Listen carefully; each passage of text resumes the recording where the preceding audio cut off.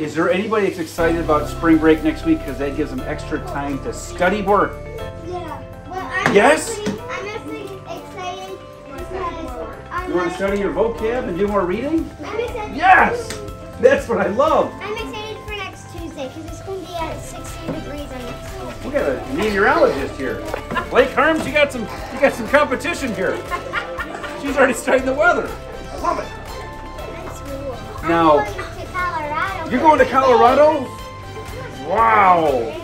I don't know where to. Well, you guys have a great spring break, all right? Hey, You going anywhere? Safe travels, have fun. Does anybody got an extra spot in their van for me to ride along? I know, that's what I was hoping. You do? Yes, I do. I'm coming. Bennett, you guys should have my car. Bennett, where are you going? To Florida.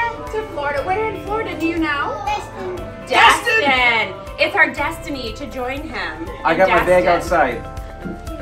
We won't take up much room.